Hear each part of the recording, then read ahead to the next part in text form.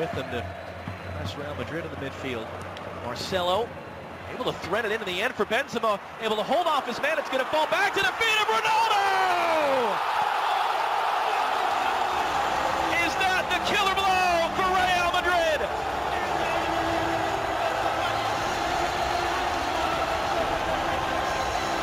quick enough. This time it was Griezmann getting upset.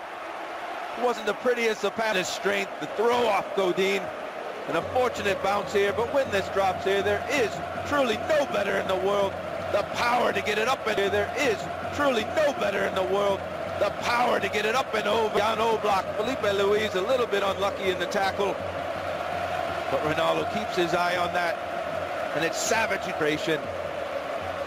Big goal, 2-0.